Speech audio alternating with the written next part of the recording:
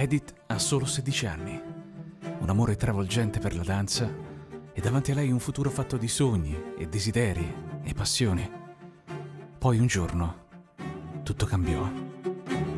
Le portarono via un padre, una madre, le portarono via ogni cosa, ma lei decise che nessuno avrebbe potuto distruggere ciò che di più importante aveva al mondo.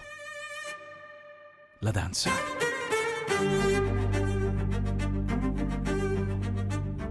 Questa è la storia di chi riuscì a sopravvivere all'orrore, grazie al coraggio e alla consapevolezza che per quanto terribile, per quanto disumano sia il presente, la scelta del futuro resta nostra.